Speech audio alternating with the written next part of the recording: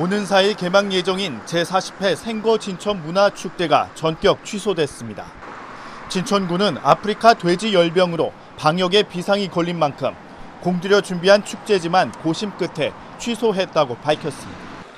진천 지역은 돼지 사육 농가가 밀집한 경기도 안성, 이천 등 3개 시군과 경계가 닿아 있는 데다 이미 구제역과 조류 인플루엔자로 큰 피해를 봤던 아픈 기억이 있기 때문입니다. 지리적으로 진천구는 충북의 관문입니다. 여기가 뚫리면 충북 어느 지역도 안심할 수가 없습니다. 가을을 맞아 지역별로 축제가 예정된 가운데 취소나 연기를 당부하는 목소리도 나오고 있습니다. 충청북도는 아프리카 돼지 열병 방역을 위해 축제와 행사의 성격을 면밀히 분석해 행사의 취소나 축소 또는 연기를 적극적으로 검토하라고 지시했습니다. 예정대로 행사가 진행되더라도 축산 농가의 참여 자제를 당부했습니다.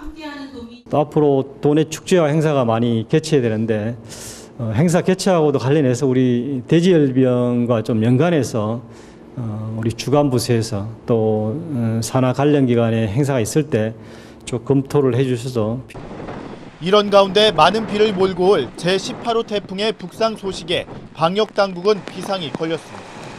제17호 태풍 타파가 거쳐간 뒤 잇따라 아프리카 돼지 열병 확진 판정이 내려졌기 때문입니다.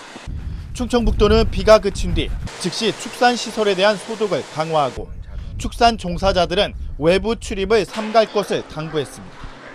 방역 당국은 또 지난달 26일 첫 확진 이후 확진 농가에 의한 2차 감염이 없다며 최대 잠복기를 감안하며 앞으로 일주일이 최대 고비가 될 것으로 내다보고 있습니다.